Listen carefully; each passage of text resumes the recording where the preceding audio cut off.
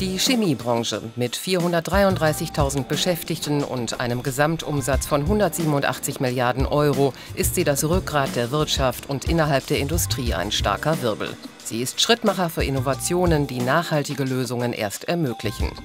Nachhaltigkeit ist für die Branche kein Modewort, sondern gelebtes Tagesgeschäft, wie der Präsident des VCI betont. Nachhaltigkeit ist für uns als chemische Industrie Teil unserer unternehmerischen Verantwortung. Es ist eine bemerkenswerte Strategie, diese Initiative. Wir werden unserer Verantwortung am Standort Deutschland gerecht und sichern gleichzeitig unsere Wettbewerbsfähigkeit. Um es sehr deutlich zu sagen, das ist keine Wohlfühl- oder Kuschelaktion. Wir ziehen in diesen Themen aber alle an einem Strang, weil Nachhaltigkeit zwar verordnet werden muss, aber nicht nur verordnet werden kann. Nachhaltigkeit muss gelebt werden. Und das können wir nur gemeinschaftlich umsetzen. Die Allianzpartner sind sich einig, Nachhaltigkeit ist für die Branche die richtige Zukunftsstrategie. Sei es die Erschließung neuer umweltfreundlicher Energiequellen, sei es energiesparendes Bauen und Wohnen, sei es die Sicherstellung umweltfreundlicher Mobilität. Zur Lösung all dieser Herausforderungen, und dabei handelt es sich ja um globale Herausforderungen, ist Chemie unverzichtbar. Die Chemie ist Teil der Lösung nicht Teil des Problems. Wie kaum eine andere Branche hängt die Wettbewerbsfähigkeit der Chemie von ihren Innovationen ab. Dazu braucht es gut ausgebildete Arbeitskräfte und vor allem ein Klima, in dem die Beschäftigten ihre Kreativität voll entfalten können. Die Sozialpartnerschaft sorgt für einen respektvollen Umgang miteinander. Margret Zukale weiß um die Bedeutung. Für die Chemiearbeitgeber ist die Sozialpartnerschaft ein zentraler Baustein der nachhaltigen Entwicklung. Und meines Erachtens kommt dieser Punkt in der öffentlichen Wahrnehmung und der großen Diskussion über die Nachhaltigkeit immer ein bisschen zu kurz. Nachhaltigkeit ohne Sozialpartnerschaft ist nicht denkbar. Und die Chemie in Deutschland steht für gute Arbeitsbedingungen und einen fairen Umgang zwischen Arbeitgebern und Arbeitnehmern.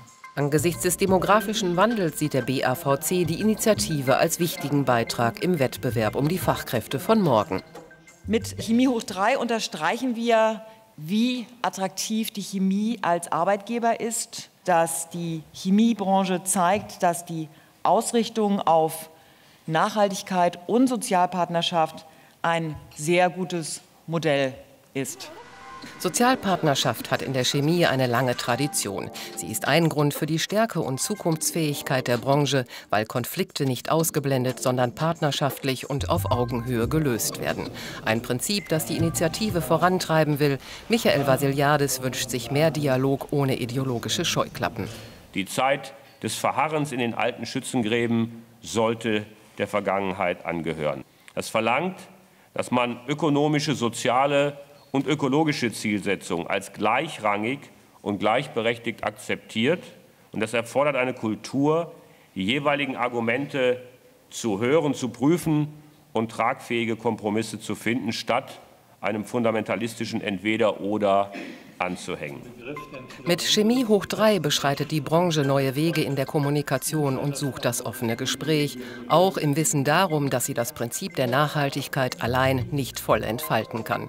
Die Akzeptanz der Gesellschaft und die Unterstützung weiterer Partner aus der Wirtschaft sind genauso notwendig wie verträgliche Rahmenbedingungen.